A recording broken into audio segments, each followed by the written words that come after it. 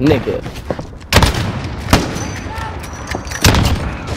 Yeah, you're my hard carry, not gonna lie.